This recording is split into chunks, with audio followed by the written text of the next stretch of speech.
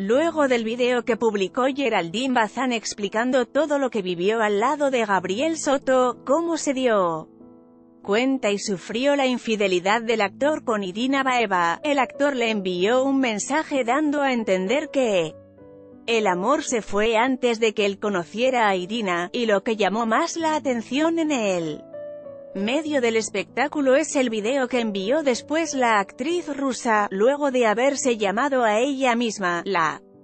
mala del cuento, en un comunicado. Video. Mujeres protagonizan pelea por el ramo en una boda, yo comparto totalmente el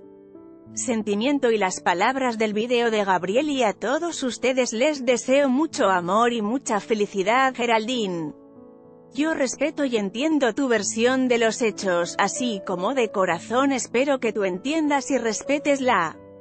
mía, y una sincera disculpa si en algún momento algo de mis acciones se pudo haber malinterpretado o pensaste que había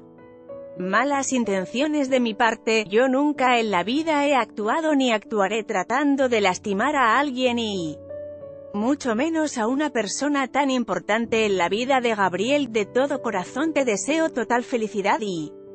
espero que incluso en algún momento de esta nueva etapa de nuestras vidas podamos convivir, quiero que estés tranquila y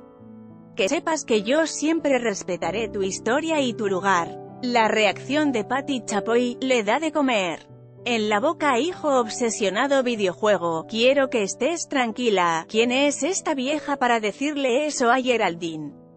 Y luego este dramatismo de actriz, dijo Mónica Castañeda, mientras que Jimena Pérez resaltó, la voz que utilizó Irina en el video. Pero una de las críticas más fuertes vino de Daniel Bisoño, quien resaltó la educación actual sobre él tema y dijo que hace años algo así ni la madre de Baeva lo hubiera permitido. La misma madre de esta señora hubiera salido y un bofetadón le regresas al marido, estúpida, recomendaron a Geraldine no engancharse, y que se concentre en su relación con el actor Santiago Ramundo, así como también que no permita que Irina se acerque a sus hijas.